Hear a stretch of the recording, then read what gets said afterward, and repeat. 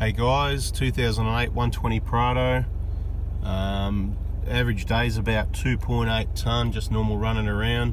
You know the usual stuff: 70 series off-road tires, lift kit, bull bar, antennas, roof rack, big Rhino batwing awning, shovel, rear storage system, that sort of thing. Fuel gauge is just under three quarters on 630 k's nearly. 70 series tyres, that means we've done about 660 k's.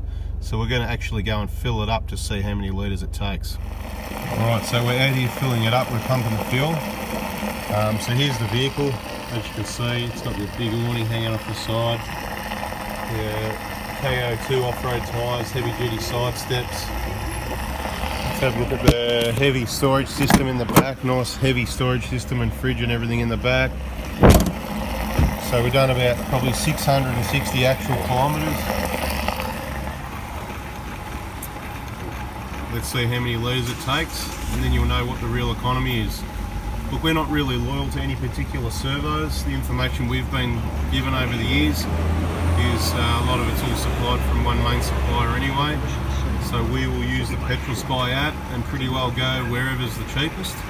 And in Melbourne at the moment, a lot of the prices are around the mid dollar 40s, high dollar 40s. This was a dollar 39.5. We were on the way past more or less.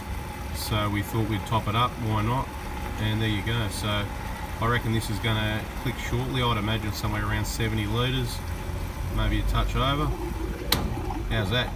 How's that for estimation? Do I know the car? 69.6 to the first click. We're going to fill it up to the brim anyway but look that'll do for the purposes of this video.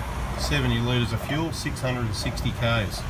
Pretty heavy vehicle that's what sort of fuel economy you get of a 1KD diesel driving around the suburbs, a few motorways, the usual sort of driving, not necessarily highway trips.